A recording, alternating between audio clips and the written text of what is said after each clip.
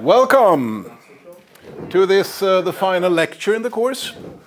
Uh, there is also um, one, if you look at the schedule, it says a lecture on Thursday, but that's a Q&A session. Questions, you ask questions about the things I haven't managed to explain, and then I'll try to explain them more clearly. Uh, or anything else you need to ask about. Uh, we had looked last time about we looked at um, uh, three address code, how the compiler first translates the program to yet another representation, uh, three address code, where each instruction in the code has three addresses. It can be uh, you add two numbers and put the result in the third place, or you can have uh, a conditional jump where you compare two numbers and if the comparison is true, you jump to address number three. Uh, that those instructions are a bit like what you would expect uh, the machine instructions in, a, in, in, an actual physical CPU to look like. Uh, we also said that the reason for uh, translating to this type of intermediate code is for the compiler to work with those three address instructions. And we saw some simple optimizations that could be done. If you have something plus zero, well, you can remove that instruction, for example. And we also talked about flow graphs. Uh, if you have a number of three address instructions, you group them into basic blocks where you don't have any jumps into or out of the block, except maybe to the start or out from the last line.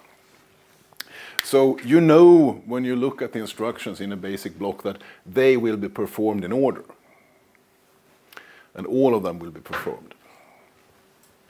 And we were going to look at a, a bigger example of optimization of three address code.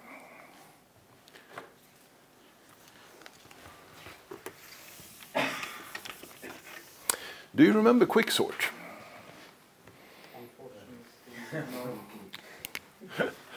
you have um, an array with numbers 7, 9, 1, 86, 2, 44, 3, minus 1, 0. Anyway, you don't need to write down the numbers, it's just an example. Uh, then uh, you uh, take one of the numbers, it could be the one in the middle or it could be anything, and then you start moving numbers around from each end. Uh, so every number that is bigger than this one goes there to the right, and every one that is smaller to the left. So if you look at uh, 7 and 0, well, 7 is bigger than 2, and 0 is smaller than 2. So let's switch those around. And then you move inwards until you uh, cannot switch anymore. And what you've done then is you have partitioned the array into two parts. One where each number is smaller and one where each number is bigger. Okay? And then you recursively call quicksort on each of those arrays. And if we look at the code, can you read this code? Uh, it is a recursive function. Uh, you assume you have an array, A, which, um, well, it doesn't really matter how, where, it, where it starts and where it ends. Uh, if it's C, you know it's um, something like this. Of uh, integers. And the interesting part here is this part here that's been marked with bold uh, text. I don't know if it's very visible. Oh, it starts here. Uh, let me check it out.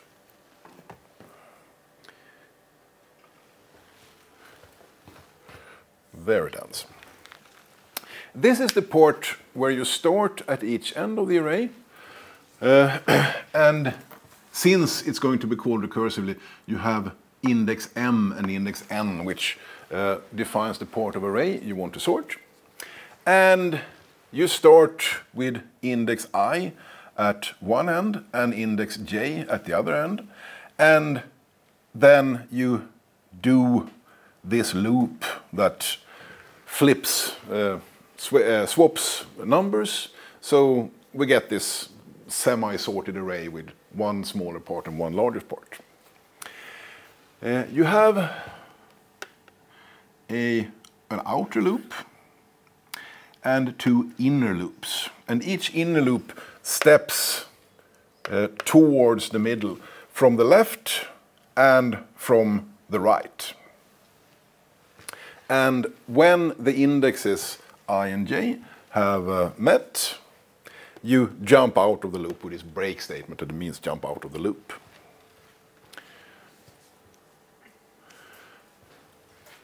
And it's all gone.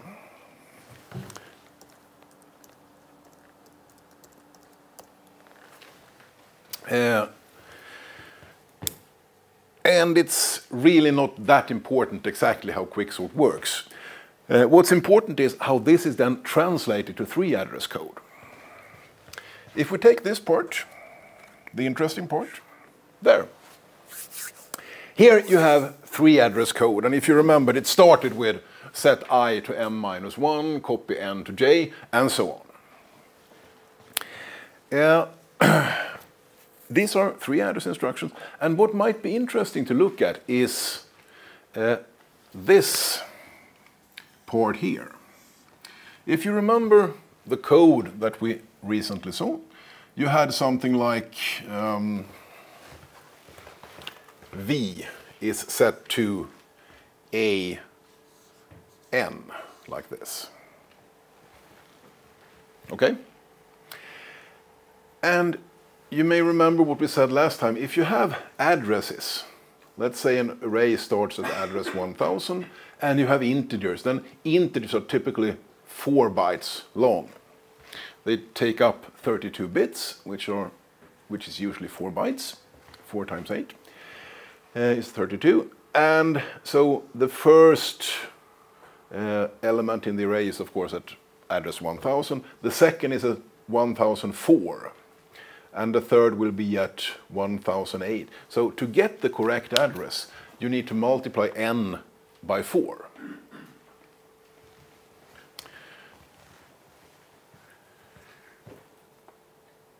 And that is what happens here. You start by creating this temporary variable t1, which is 4 times n, and then you use that one for array indexing.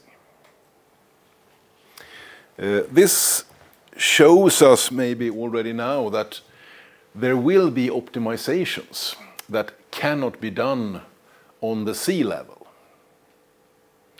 you need to work on this level that's one level below C code. Because this multiplication by 4, you don't see it at all here.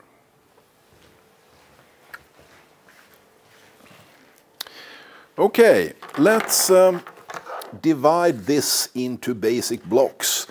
And let's um, try some simple things if I remove this part. Uh, which jumps do we have? Well, we have one jump here. So one basic block will end uh, after instruction number 8. Because you remember, we can have jumps only out of the final line of the block. We have a jump back to 5. So that means one basic block will start at line 5. Because we can have jumps into the block only if it's to the first line. Uh, you have uh, a jump here, and you have a jump to line 23 over here from this one. Uh, do we have any more jumps? Yeah, here. You have go to 5, which jumps over there. So now, when we have looked at all the jumps in the code, we can split it into basic blocks. We see that, okay, these four instructions will always be run in order, so that's one basic block. Uh, we will see that we will see that this part here, those instructions will always be done in order. Uh, we have uh, this part here, also always done in order. Uh, this block here, well, that will be just one single line. And why is that? Well, uh, since we have a jump out there, uh, and this line is also a jump, then we're not sure if anything more than only this line will be run in order. I mean, we could jump out here, so uh, we might not continue from this line to this line, uh, and we might jump out. So this basic block is just that single line. Then we have um, this part, which continues all the way here. So line 14 to 22 is one basic block. And finally, line 23 uh, to 30 is one basic block. So by looking at the jumps, you can identify the basic blocks.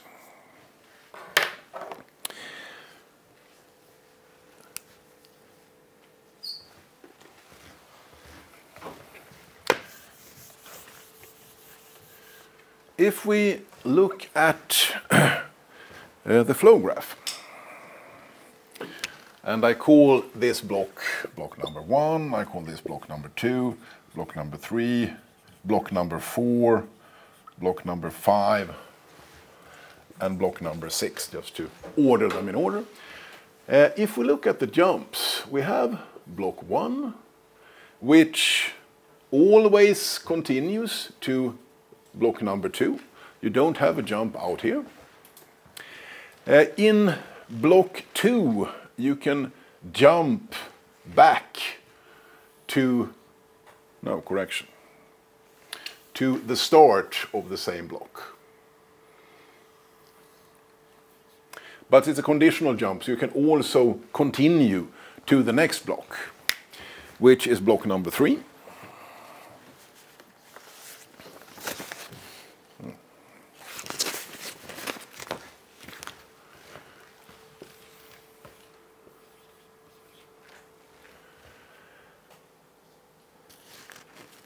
And again, at the end of block number three, you can jump back to the start of the same block, like this, or you can continue to uh, this short block that we have called number four.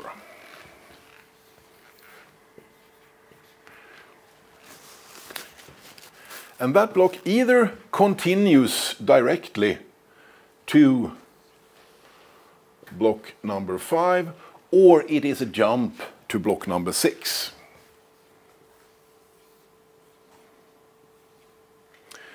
And this final jump at line 22 in block number five back to the start of block two here. Uh, creates the outer loop.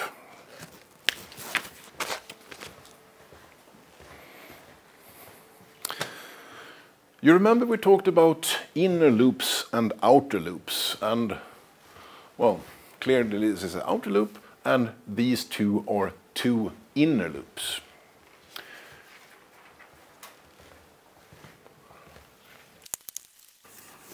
And you can see them if um, I scroll up here to the source code. Uh,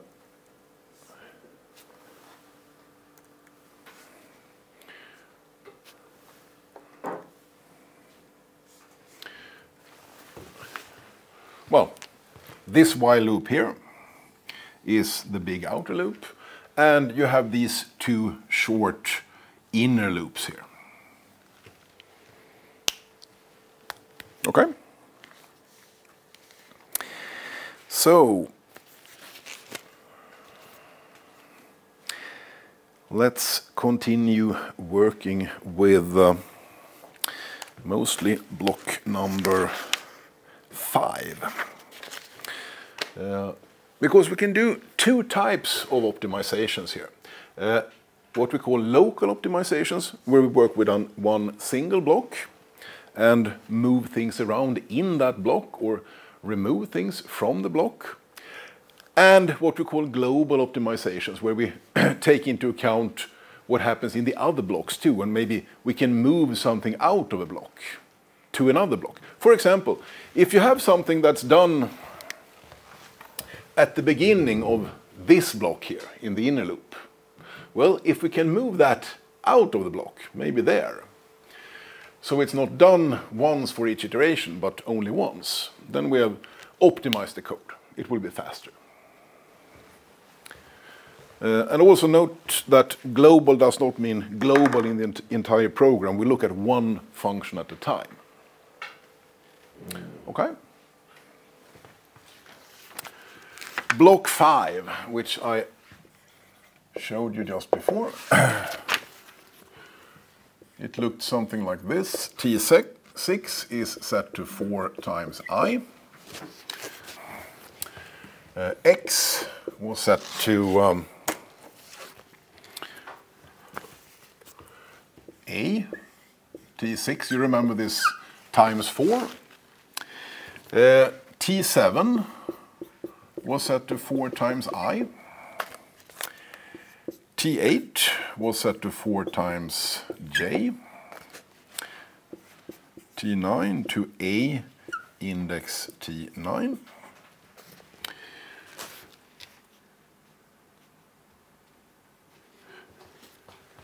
A index T7 was set to T9. Uh, T10 was set to 4 times J. A index T10 was set to X. And finally we have a go to at the end of the block. Go to block 2. Okay, you agree? So let's see which local optimizations can we do in this block. Do you see any obvious ones?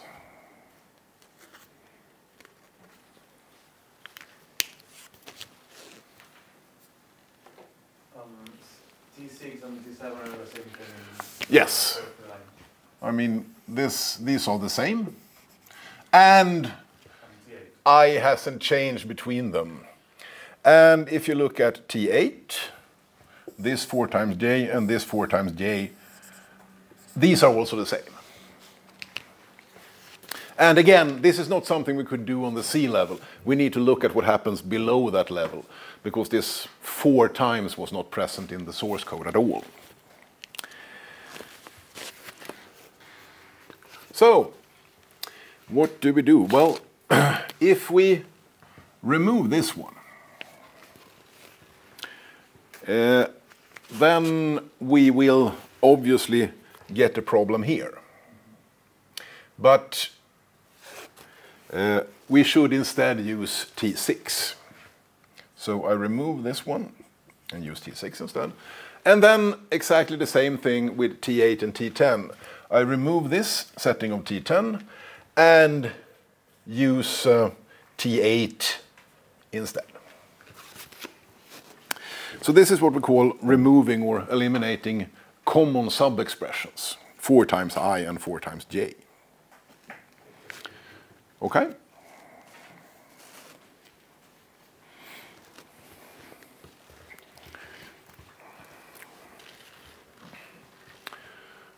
If I uh, redraw it so we see what we're doing, we have um,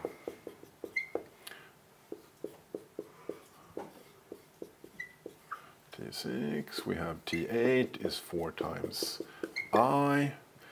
We have T9 is A index T9.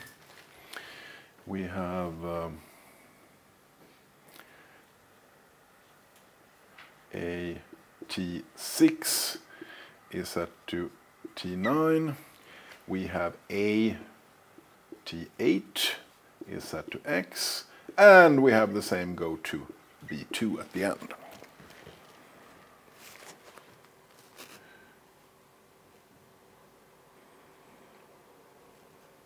Oh, correction. J, 4 times J. And I made a mistake there too. T8. Right? Is it correct now?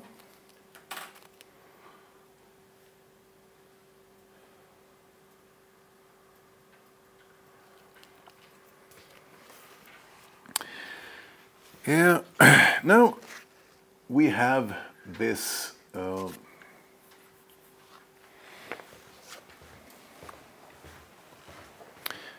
this basic block and we can't yet at least remove anything more.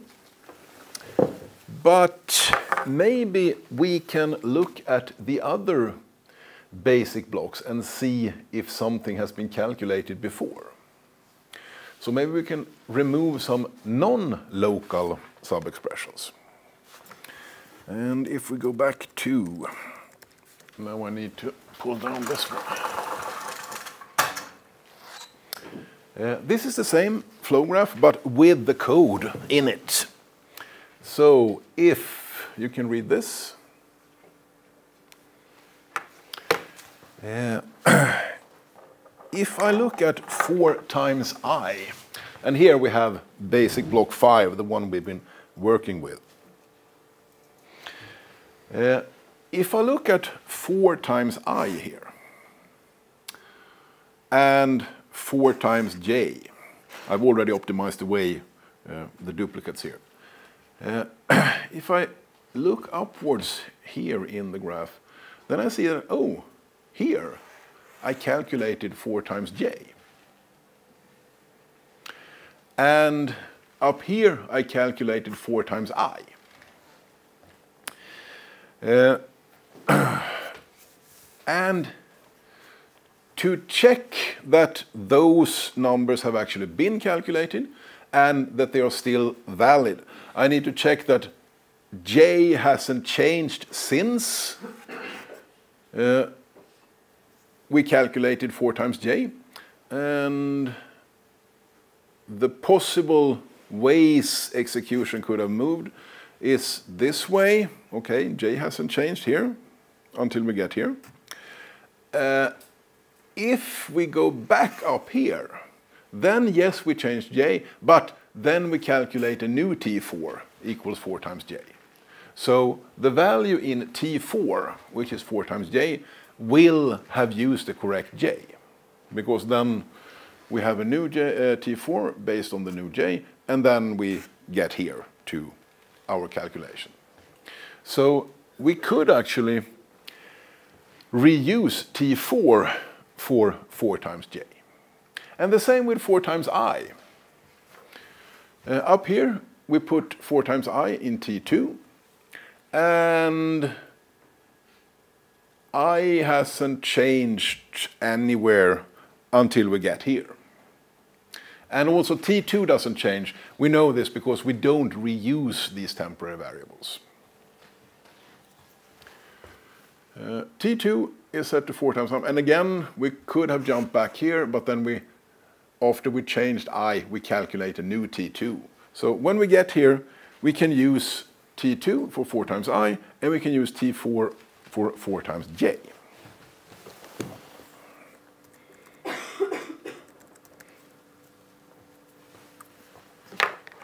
Okay?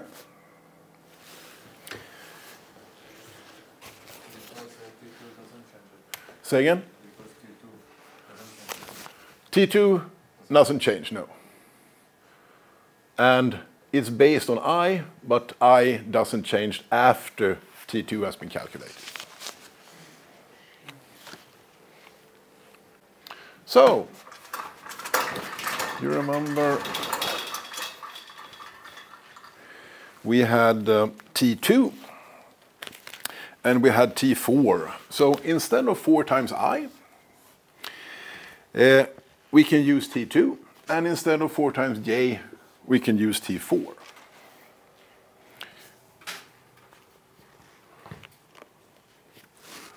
So remove this instruction and use T2 instead. And instead of this instruction, uh, use T4 instead of T8. And then I can use them. I need, of course, to use them down here also. So instead of uh, T6 and T8, here I also use T2 and T4. Okay? But to do these optimizations, I need to look at the other basic blocks, and I also need to look at what we can call flow of data.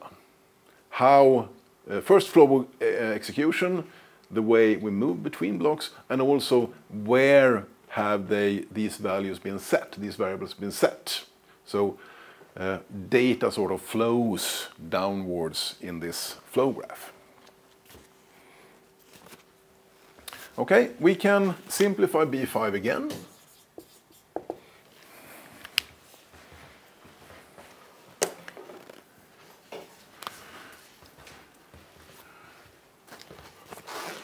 To x is set to A index T2. Uh, T9 is set to A index T4. And A index T2 is set to T9 and A index T4 is set to X and we have the same go to B2 at the end as we had before.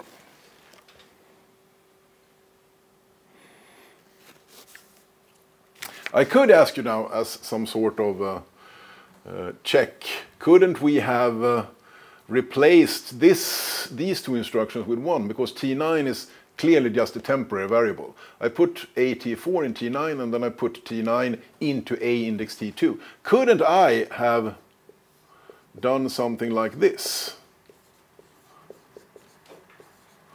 Is my question. Could I have done that? No. Why not? Yeah, then it's not a three address instruction, then it's a four address instruction. So this would not be possible. Okay.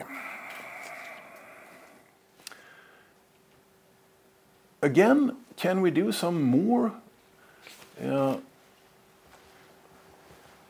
non-local optimizations because I don't think we have any more local optimizations here. Well, look at the flow graph again. And you remember that the first instruction here says do something with AT2 and now it's off again. Let's see if I can change the timeout here so it doesn't turn off the screen all the time. So now it should not turn on the screensaver.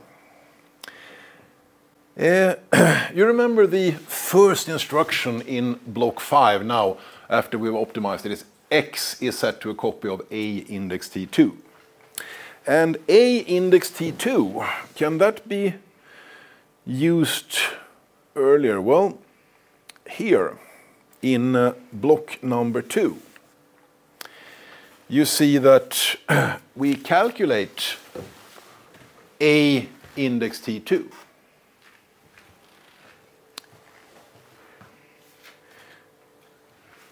We also need to check that T2 hasn't changed since we did this, because then we would have another place in the array. But as we said, we don't reuse temporary variables, and we can check that it has not changed. Uh, and also, one more thing needs to not have changed, namely what? A. Yeah, the array A. If the contents of A has changed, then maybe a index T2 now contains something else. So we need to see that we haven't done anything to the array A, but we haven't done that. We've taken a copy here of one of the elements in it, but we have not uh, changed the contents of the array. So T3 here contains A index T2, and we can reuse that. Uh, another thing we are using here is A index T4 in uh, our optimized block here. And again, A index T4 is calculated here. And after this line until we get here, T4 has not changed and A has not changed. So we could replace A index T2 and A index T4 with T5 and T3. So let's do that.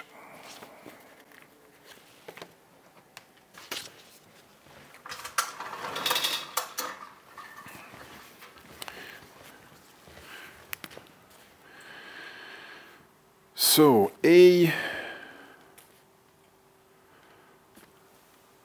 here we can use T3 and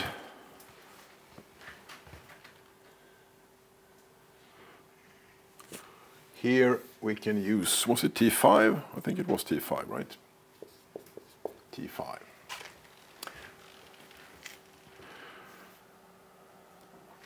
So block 5 now turns out to be x is set to T3, T9 is set to T5, uh, A index T2 is set to T9, uh, A index T4 is set to X, and the final go to B2. So we've done local elimination of uh, common subexpression, uh, and we've done global elimination of common subexpressions. Another thing that we can do is what we call copy propagation. That means when we use a copy of something, such as here we copy the content of T5 to T9, and then we use T9, which is just a copy of T5. Well, let's not do that. Let's instead use the original. So instead of T9 here, I use T5, which is the original. Then, when I've done copy propagation, use the original instead of the copy, then maybe I can also eliminate T9. Because is T9 used again? No, it's not. So remove that line.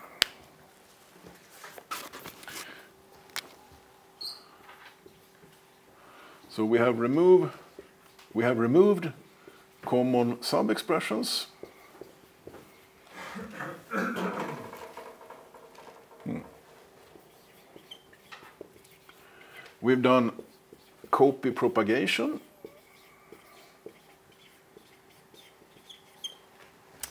And then we've eliminated dead code. You remember that we said that dead code sometimes means code that never will be executed.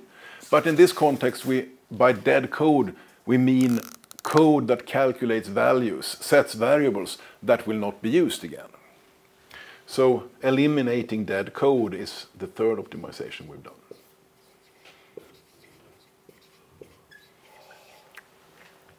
And again, to eliminate dead code, to know which variables will not be used again, we need to look at the other basic blocks. We can't do this local in a block because then uh, we could el eliminate maybe the array A completely here because after this one it's not used again.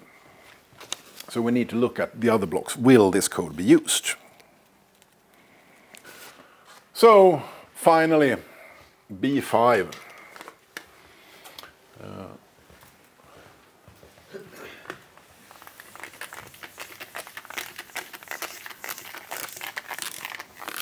shrinks from all this to just four lines. x is set to t3, a index t2 is set to t5, uh, a index t4 is set to x, and the go-to, like this. Or can we do something more? Are we finished?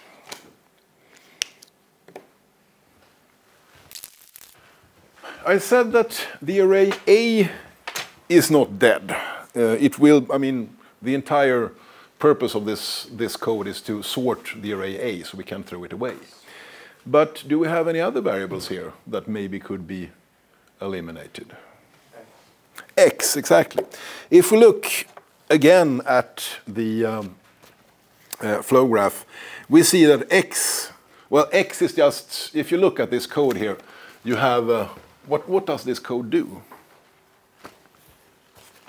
Well, you have A, uh, index T2 and index T5, and what you do is you have a variable X, you take the contents of AT2, uh, move it there, uh, then you take the contents of this one and put, put it there, and then you, from X, copy back there.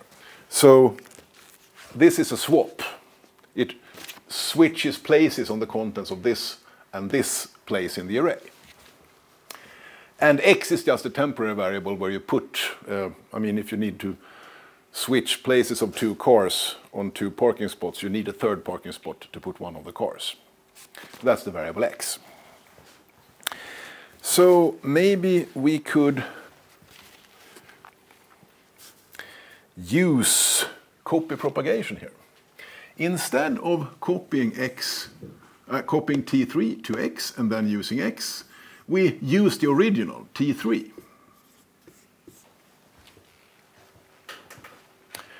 So now uh, T3 is used instead of X, and it turns out that X is not used anymore in this block. And if you look at, uh, as I said, if you look at the flow graph and all the other blocks, X is not used at all. So we can eliminate the variable X. We can eliminate this piece of dead code. So, finally, finally, finally. Uh, A index T2 is set to T5. A index T4. Did I do it correctly?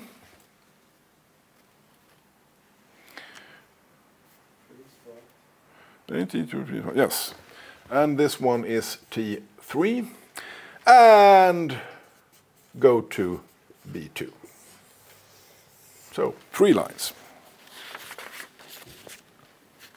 Which might look a bit strange because don't we need to make a copy here? But we did that in a previous block, so we don't need to do it again. Okay, questions? Is it on uh, machine? Are we still in machine independent? Yes, this is machine independent code. Even though this code, this three address code, is more similar to machine instructions on an actual machine than uh, it's close to the source code. And machine independent um, phase will be implemented by us programmers?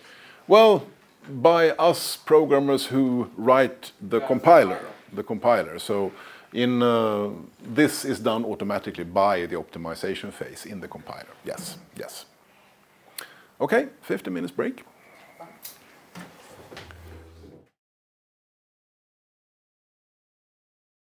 that was fun. Do you know what it is? Yeah, it's great. Um, just like, Det här, det här är bara början. And then I found some uh, message you went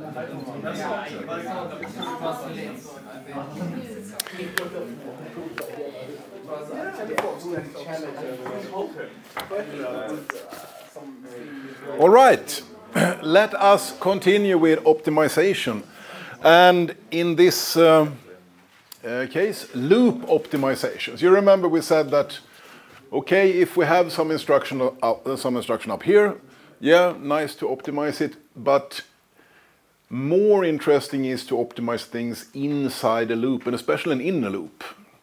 uh, which might be done, performed millions of times instead of just once.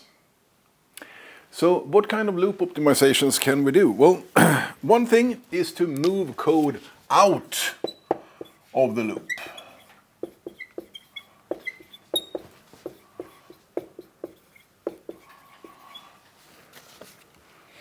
If you have an instruction here and it can be moved to B1, well, nice, do it.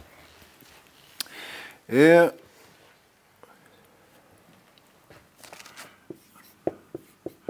we might also be able to, what the book calls, eliminate induction variables. And what's an induction variable? Well, it's an extra loop variable. Induction in the sense that you increase it or uh, increment it or something for each iteration of the loop.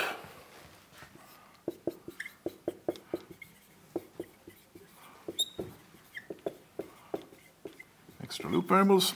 And uh, what the book again calls reduction in strength of operations. That is, replace an expensive operation such, such as multiplication with a cheaper, that is faster uh, operation, such as plus. So reduce strength of operations. Uh, if we start by looking at moving code out of the loop, and now I will show it as C code here. Uh, in reality, it's not done on the source code level. The optimizer works with, with three address code or something like that.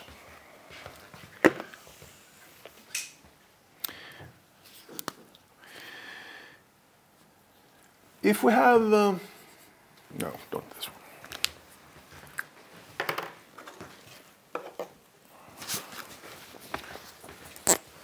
If we have a while loop, let's say while i is less than limit minus 2.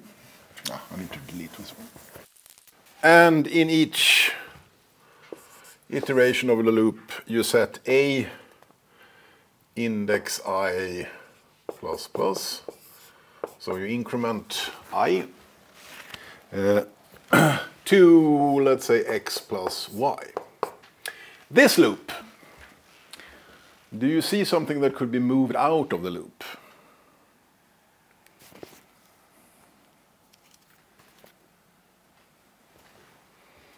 What can be moved out of the loop? Does everything has to be done in each iteration? X plus Y. Yeah, x plus y. x and y does not seem to change. So those could be re removed, or moved rather. And another thing, limit minus 2. Limit doesn't change and 2 doesn't change. So we could use one temporary variable that is t1, which is limit minus 2, and t2, which is just x plus y. And then the loop itself becomes while i is less than t1, uh, a index i plus plus is set to t2.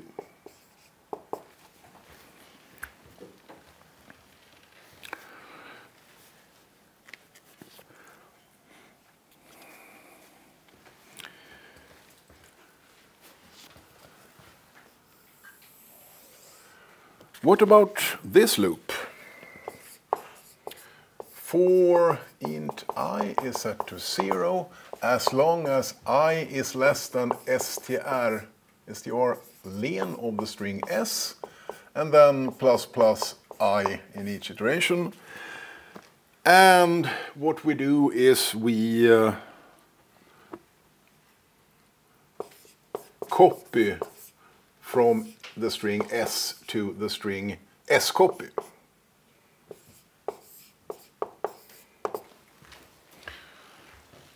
What about this one? The strlen could be outside with a, with a variable. Yeah. Uh, This is something that's may be a bit hard for the compiler to do for us, actually. Since this is a function call. And if the compiler knows that strlen uh, length, strlen, uh, calculates or returns the length of the string s, and if the compiler also can determine that s doesn't change, that the contents of the string s doesn't change. I mean, s copy and s could be overlapping, so it needs some advanced analysis to, to realize that s does, if s doesn't change. Uh, it might be hard for the compiler to know that this is, um, is something that could be pre-calculated.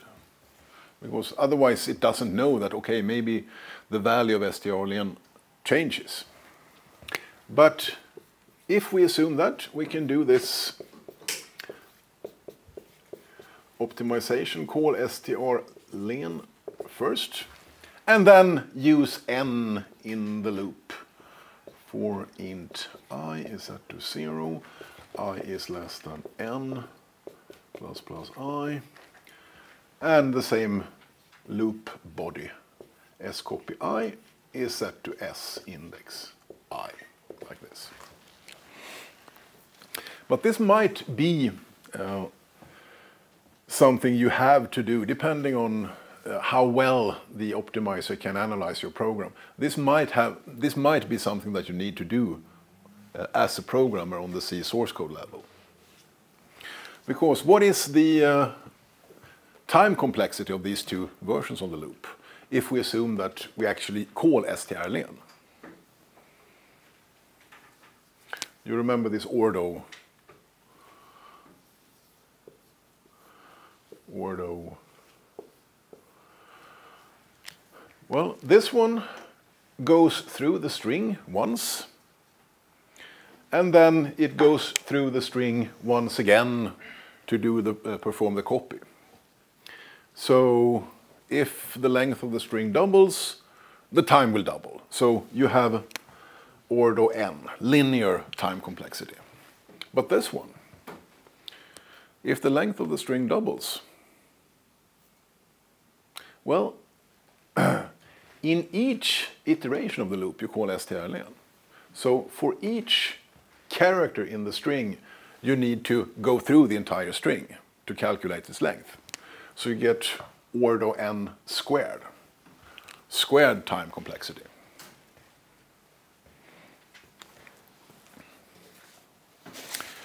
Okay.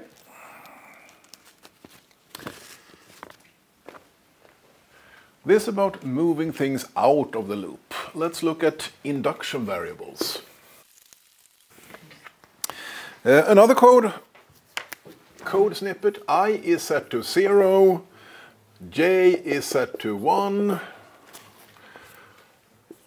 as long as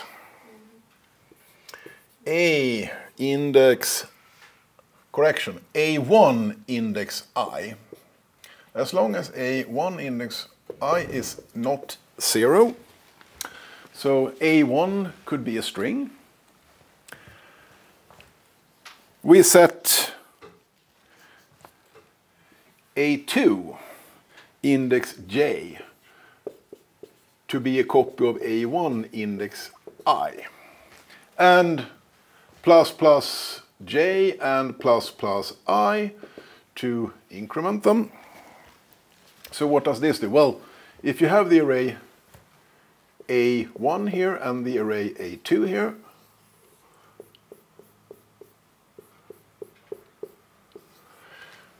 since i, which we use to index array A1, starts at 0, and j, which we use to index array A2, uh, starts at 1, we will copy everything one place higher in A2 from A1.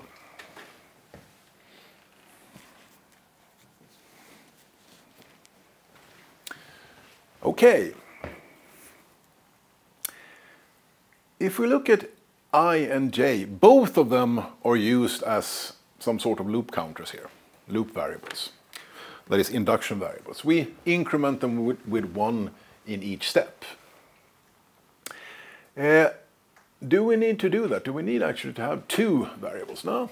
I mean, j is always uh, before the loop and after each iteration, j is one higher than i. So we could replace j with i plus 1.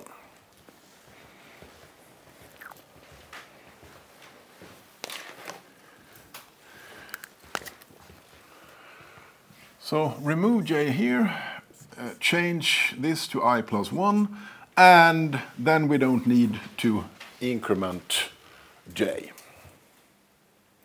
So we have um, saved as one loop variable.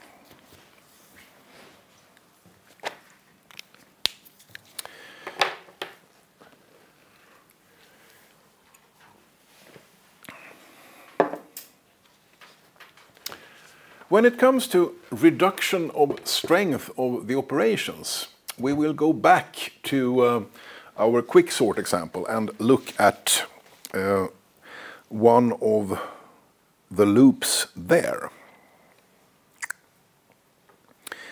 Uh, we will be able to both remove one induction variable and reduce the strength of the operations.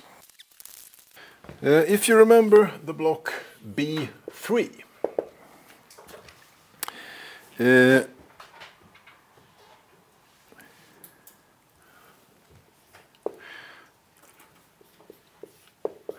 it's the loop that sets J to uh, one on the end of the array and then moves it inwards towards the other end. We had T4 is set to 4 times j, because again, 4 bytes per integer. We had t5, which was set to a index t4.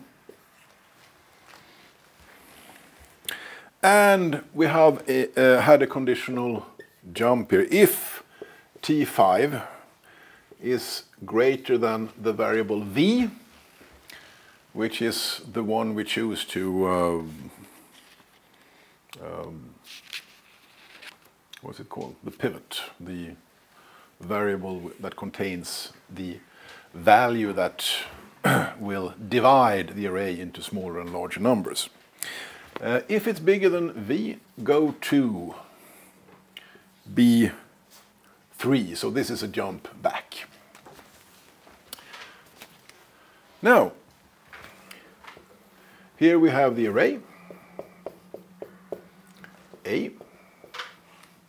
We uh, are interested in position J.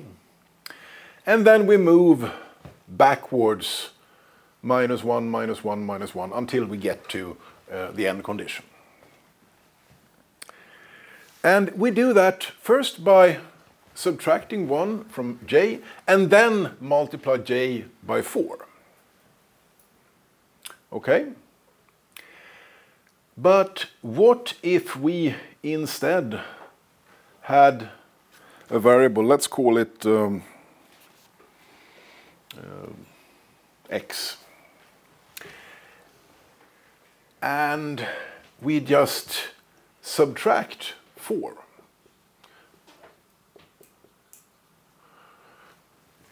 Instead of subtracting j, j uh, subtracting 1 from j and multiplying by 4, we'd have x and we subtract 4 in each iteration. I mean, both j and t4 are induction variables. Uh, they will move in lockstep, so to speak. Uh, except that t4 is calculated anew each uh, iteration, and it's four times larger. It's always four times larger. So what we could do is first up here somewhere we must give a starting value to uh, our x or we can use t4 since that's the one that will be used here. So if I use the blue the blue pen I set T4 to be 4 times j. And then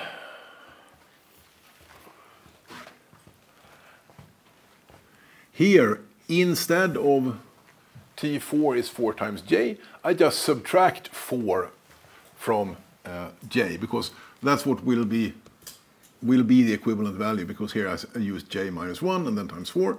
So here I can say t4 is set to t4 minus 4.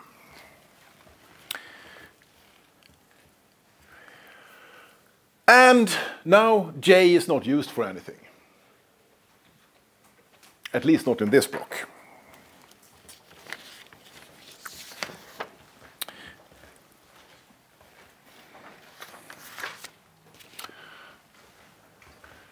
So we might need to do something about j later, but here we remove j completely and just use t4 is decreased by 4 in each iteration of the loop.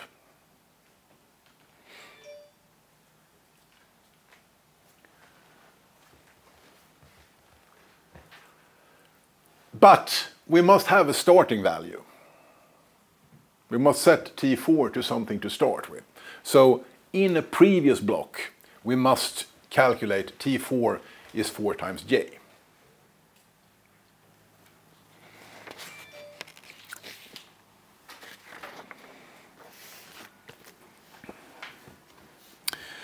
Uh, we can put it in block B1 actually.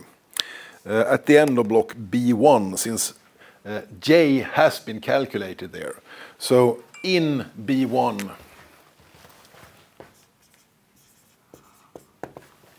we can add this uh, uh, T4 equals uh, is set to 4 times J.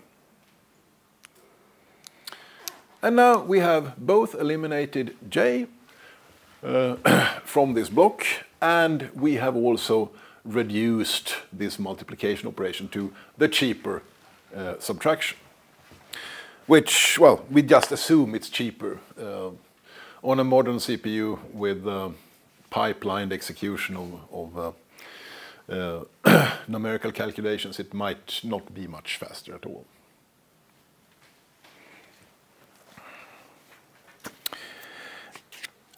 almost works. Because if I turn on the projector and we look at the uh, we look at what happens after this B3 block. Uh, in the B4 block, or block number four,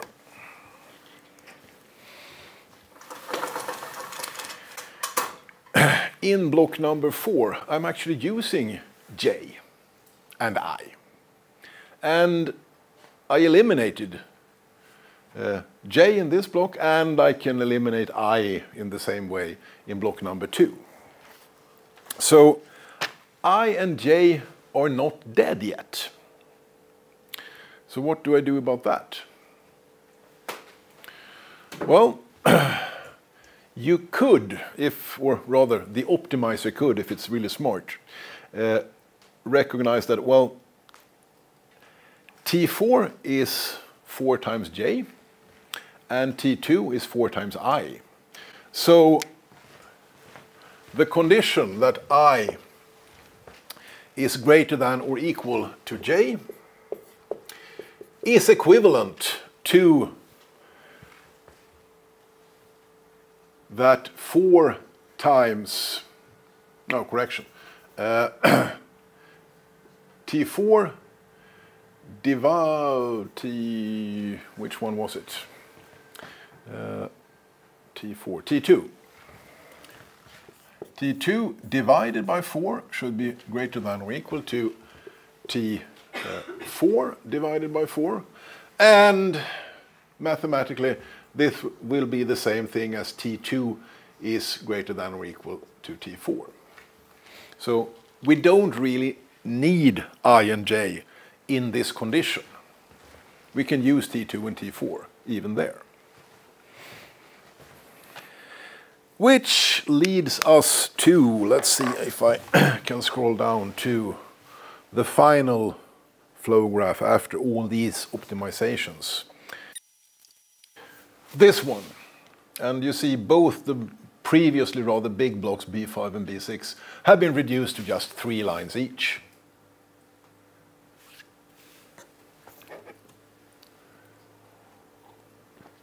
Okay. Questions about this? Good.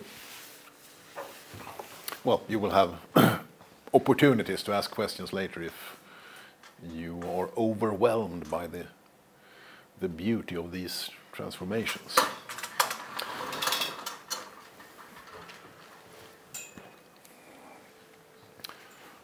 So, let's now look at a fourth loop optimization, which is called loop unrolling.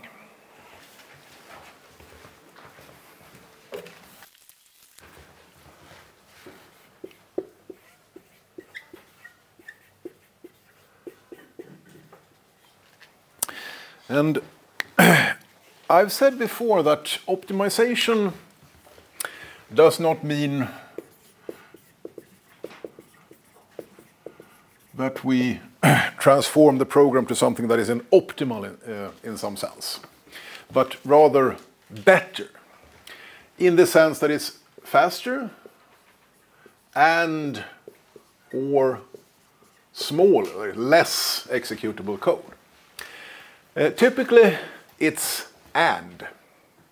I mean, if you have an instruction like A is set to B plus 2, uh, C is set to B times 1, uh, you can remove this times 1.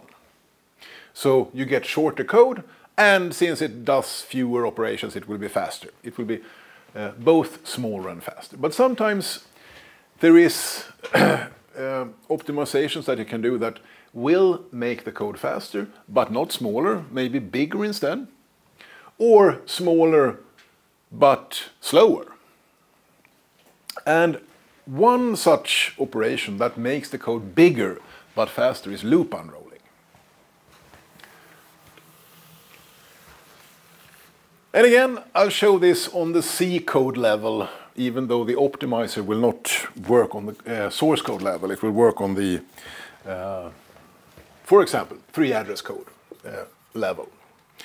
I have a loop that says for i is set to 0, uh, run it 20 times, increment in each iteration, and then I have an inner loop that says for j is set to 0, uh, j is set to, no, correction, as long as j is less than 2. So this inner loop is just run twice, or two iterations. The entire loop is run once for each iteration of the outer loop. Uh, plus plus j. And in here I have an array called a, which is two-dimensional, so I have index i and index j, and I set it to i plus 2 times j. So what we have is the array a, which is um, two-dimensional. It's 20 times 2.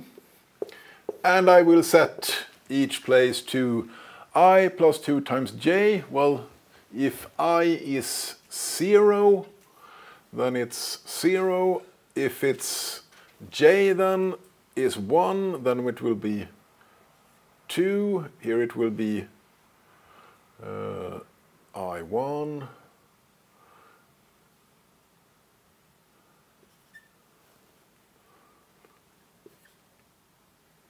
Yeah, something like that. It is initialization of a, uh, uh, a two-dimensional array or matrix. If we start by looking at this inner loop, well, it's run two iterations. And what if we remove those, this loop and replace it by those two iterations?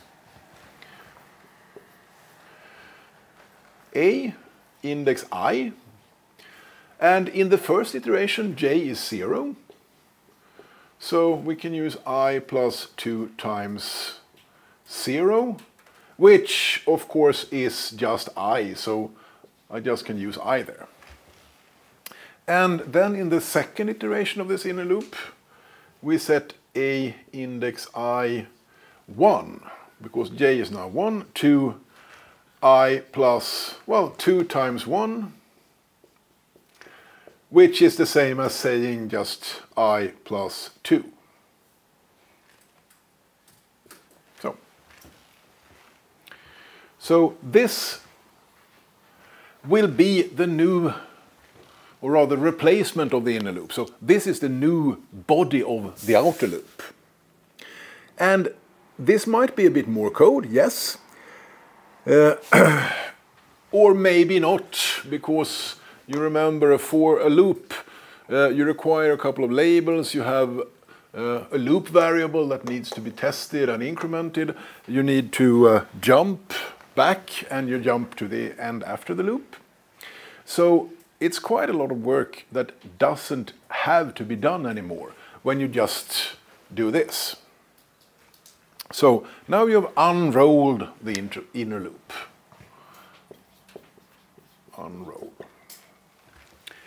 And you can also unroll the outer loop, the big loop.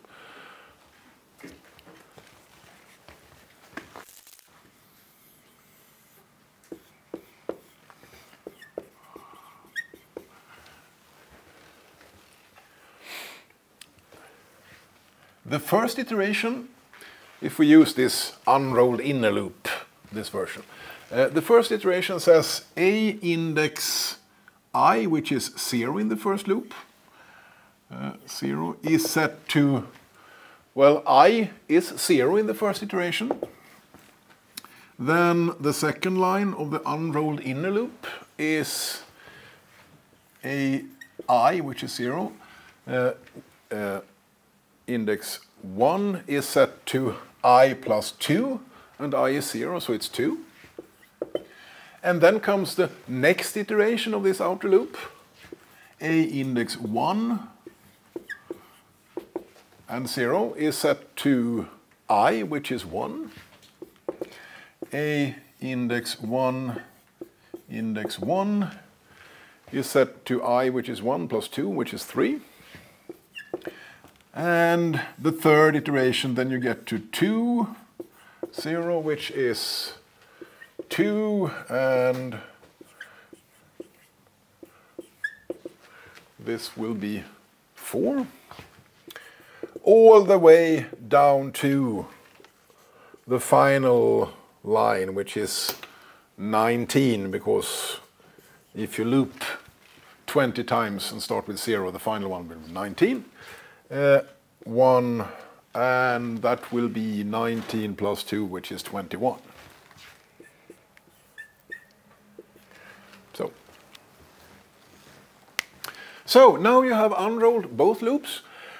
You probably have more code, more executable code, but it will be faster because you just run through it without all the jumps back and forth and without the loop variables. So this is loop unrolling. You don't have to unroll the complete loop. You could, if you have, let's say, 1,000 iterations, you might not want to unroll all 1,000 iterations. You could unroll 10 iterations and then run that 100 times instead of uh, looping 1,000 times. Okay?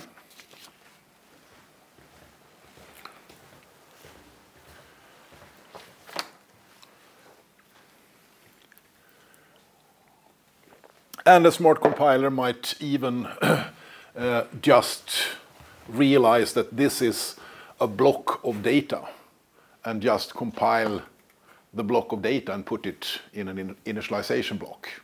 So it doesn't need to run any instructions at all. Okay. Uh, another optimization that's not really a loop optimization, but that is uh, related to loops is elimination of tail recursion. So let's look at that. What is tail recursion?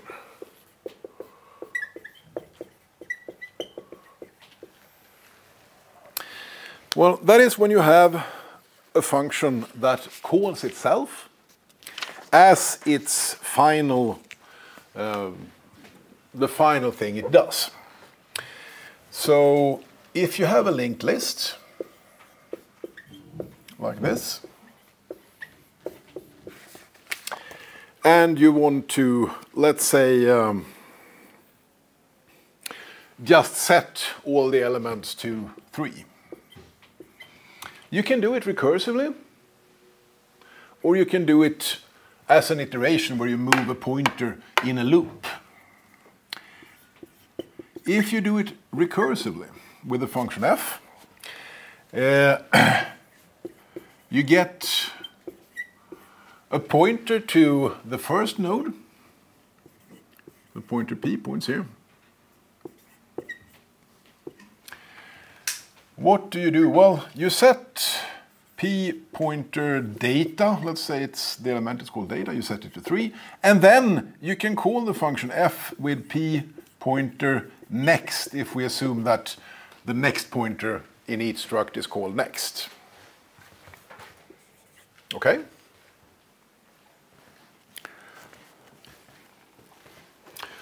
Or if you did it as a loop,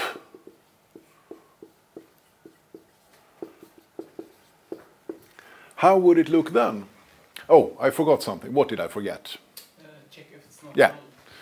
I need, before I call it recursively, or before I do anything at all, I need to check if P is not null. Then I do all this. Because otherwise I will never end the recursion. So I start when I get into the function to check if P is null, do nothing, otherwise set to 3 and call recursively with the next. Uh, here in the iterative version, while P is not null, what do I do? Well, I set P data to 3, just like I did uh, there. And I set P to point to the next item like this. This is the iterative version. Just loop through the list. Now, a good compiler that performs tail recursion can look at this and see that, okay, we will have activation records. I will call this function, here's the stack. I will call this function, I will have an activation record uh, with p, which first will point to the first, then I will call the function recursively, so I will have a new activation record for p, uh, for f, which points at the next one, and so on until I get to the end of the list, and then I will just return. But I'm not going to do anything at all at the end here. I will just return. And when I get to the end, I will return from this one, return from this one, return from this one. So I don't really need to keep all these activation records. I can reuse the first one. So when I recursively call f from f, I just reuse the same activation record. I just move p forwards. Similar to what happens in this version, where I have a pointer p and just uh, I, as a programmer, moves it forward in the list. So this is elimination of tail recursion. Transform the tail recursion to a loop.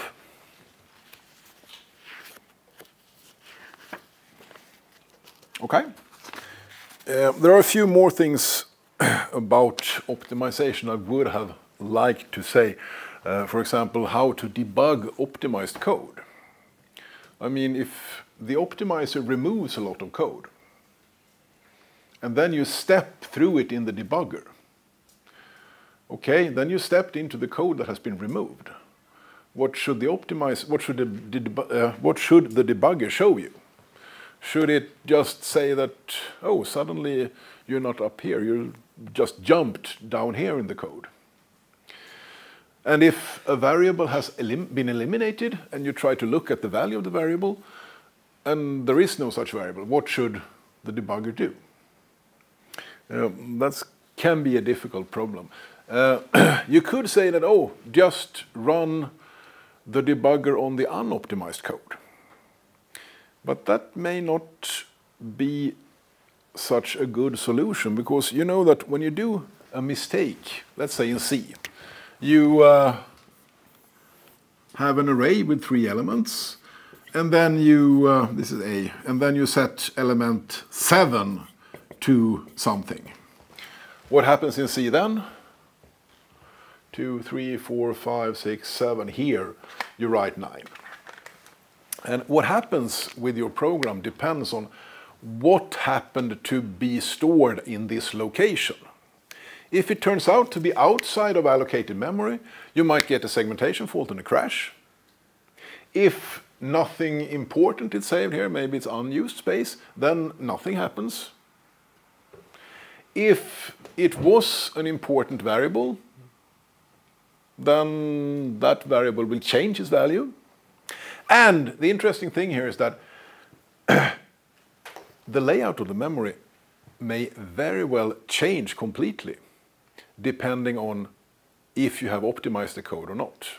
This variable that I just overwrote with my 9 here might have disappeared completely in the optimized code. So I want to debug the optimized code. Okay. Um, I was going to talk about the code generator. Now I have less than two minutes to talk about the code generator. Uh, let me just say one thing about, or two things about the code generator. if you have a code generator that generates uh, machine code for an actual physical processor, uh, you might generate machine code or, which is more common, assembler code, so you have to run it through an assembler. Uh, but it needs to do two things. The first is to choose instructions. And some processors have nice instructions for loops. Maybe you have an, a single instruction that sets you, lets you copy an entire block of memory. So should you choose that instruction or should you use uh, a normal loop? That is the first thing. Choose the correct instructions. And then register allocation. You know that the CPU has a number of registers which are very fast memory, uh, but limited. Maybe you have 10 registers in a CPU. And you need, you want to put as, you want to use those registers as heavily as possible for your variables. So you don't have to go out into main memory, which is fast, but not as fast as registers. You need to, you want to put as, mo, uh, as much, as many variables as possible uh, that are used heavily in your uh, function in registers. And uh, finding which registers to use for which variables is also an important part of what the code generator does. Okay, that's all I have to say about the code generator. So thank you for today, and if you have questions, I will be here for a while. Okay, thank you.